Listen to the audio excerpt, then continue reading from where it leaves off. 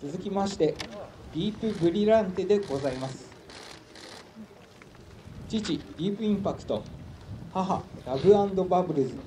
母の父はルーソバージュ。影2009年生まれの11歳。体高 165cm 本年度の種付け量はフリーリターン特約付き。受胎条件80万円。出生条件120万円です。ディープブリランテは2歳から3歳にかけて7戦3勝。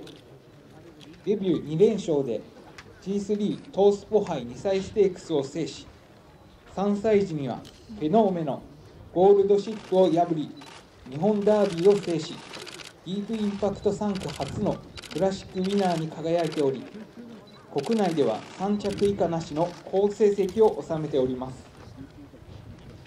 父としてすでに4世代を送り出しセダ・ブリランテスが重賞2勝。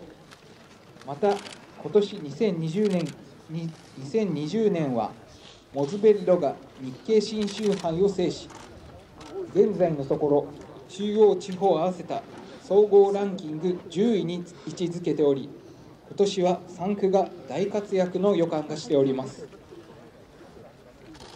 ディープブリランテ今年早速重賞勝ち馬が出ましたが本年度の種付け量は昨年より安く設定させていただいておりフリーリターン特約付き受胎条件80万円出生条件120万円となっております。